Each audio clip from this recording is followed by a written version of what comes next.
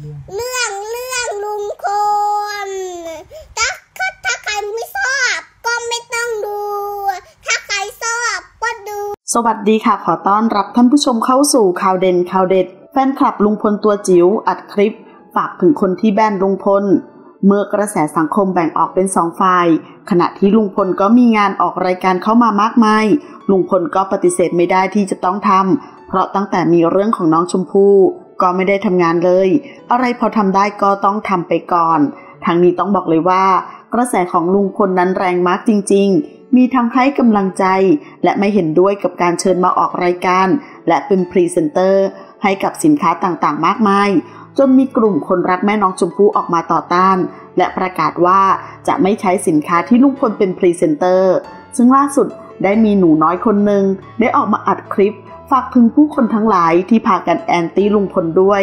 ซึ่งคลิปจะเป็นยังไงนั้นไปชมคลิปกันได้เลยนะคะ ขอขอบคุณข้อมูลจากสยามสตรีท ขอบคุณค่ะเมื่